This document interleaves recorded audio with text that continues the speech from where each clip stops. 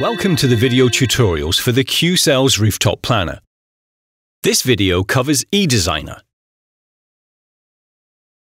The eDesigner gives you the option of inverter design, consideration of consumption profiles, take account of batteries when planning, simulation to determine the yield values.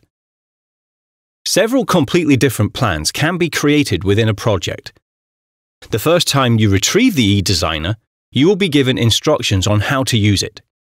The screen is divided into three sections. The upper part contains the ribbon with the Add Planning button and later, when you have finished a plan, with the Project Report and CSV Export buttons. On the left, you will see the navigation bar with the following areas. Overview of plans, display dimensioning layouts and yield values, results output, edit horizon and graphs. If there is not yet any plan in the current project, you will see the Add Plan button in the middle of the screen. After clicking on this button, you are taken to a blank planning area, which contains the following elements. Name of the plan.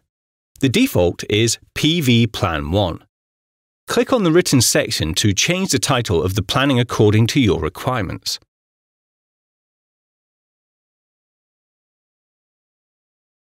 Add Roof opens a dialog box displaying the existing roof areas.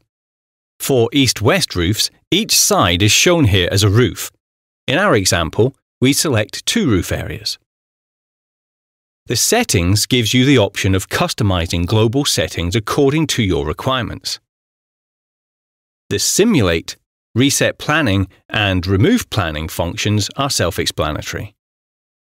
After you have added the desired roof areas to your plan, in the next step you select the manufacturer of the inverter that you wish to use. You can now see all the inverters in question and restrict the selection by selecting the points under Restrict Inverter and the checkboxes under Select Inverter, according to your requirements. It is often advisable to leave the eDesigner to find possible dimensioning layouts and simply click on the Calculate Dimensioning Layouts button. After a short computing period, a list of possible dimensioning layouts is displayed. Each dimensioning layout is marked with a frame. Within the frame, you can see the number and type of the inverter, its nominal power, maximum DC output, nominal power ratio, and which generator field it is assigned to. Before entering each inverter, you will see a symbol. Click on this symbol to display detailed data about the inverter. Select the desired dimensioning layouts and click on Apply Dimensioning Layouts. In the next step, you can decide whether a consumption profile should be taken into account in the simulation results. Click on the pencil next to No Consumer Selected or on the Add Consumer button. Below this, you now see a list of predefined consumption profiles. However, you can also define consumers manually. Here you have the option to define the consumer and on which working days, at which times, and in which calendar weeks a consumer is active. In our example, we choose the first predefined consumption profile and enter an annual consumption of 50,000 kilowatt hours and load the data by clicking on the Save button. In addition to the consumption profile, the use of batteries in the simulation can also be taken into account. Click on the pencil next to No Battery Selected or on the Add Battery button. Below you will see a selection box for the battery manufacturer. After selection, the list of available batteries is displayed. Details are displayed automatically once a battery has been selected. Choose a battery and adjust the number of batteries according to your requirements. Enter your details by clicking on the Save button. Next, we describe the dimensioning layouts. It is also recommended to give the variants a good name.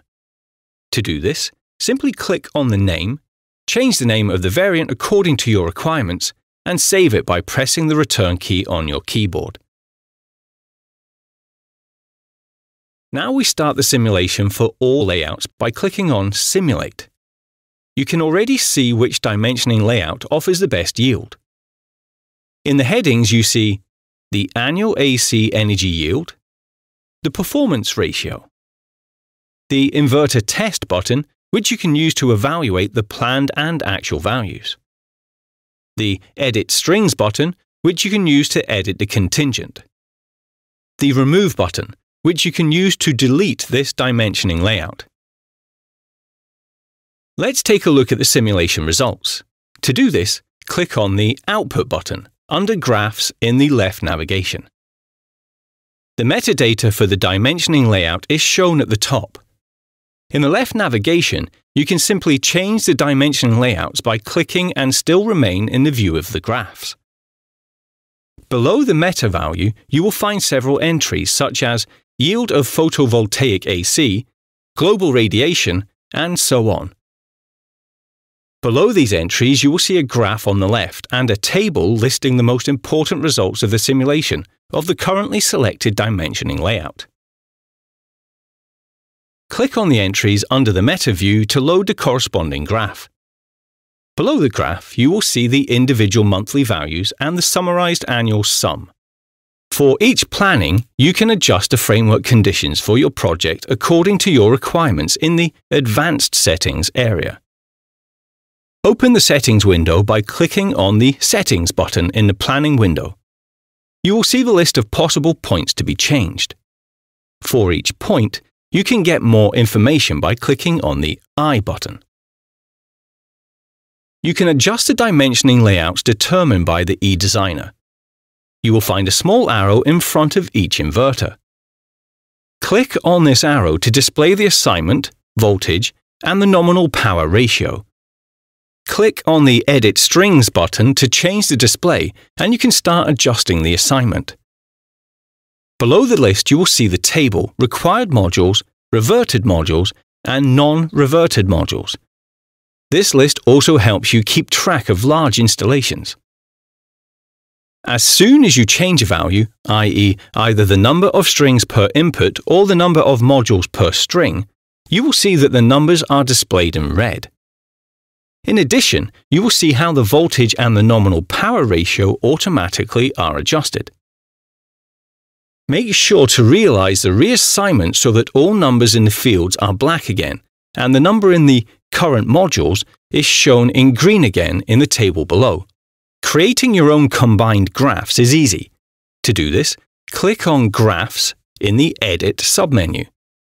Here at the start, you can select which graphs are to be available. In the upper right corner, you will see the Create Combined Graphs button. Once you have clicked, a dialog box for defining your own graphs opens. Select the values you want to display and enter your own name for the graph. You can preview the results before saving it by activating the Preview checkbox. This allows you to specify whether the graph is to be filled or unfilled. The colors of the graphs are easy to define by clicking on the relevant color field in the legend. Save these and change to Output. If you now switch back to the output, you will find your graph and can display it. Close shading is not taken into account when calculating the simulation results. However, the project horizon is taken into account in the calculation, as this affects the entire area of the generator field. You can adjust this horizon to take trees or other buildings into account. Once you have collected the relevant data at the project site, open the Horizon section in the left navigation you will now see the horizon, which is automatically determined on the basis of map material. Enter the following values for each object that you wish to define on the horizon. Azimuth start value for the left edge of the object. Azimuth final value for the right edge of the object. And horizon for the top edge of the object. Next, click on the Generate button and confirm that all existing simulation results are rejected. You will now see the new horizon that you have adapted. You can now switch back to dimensioning layouts to restart the simulation of each variant. In the eDesigner, you have the option to generate your own project report. Click on the Project Report button, which you can find at the top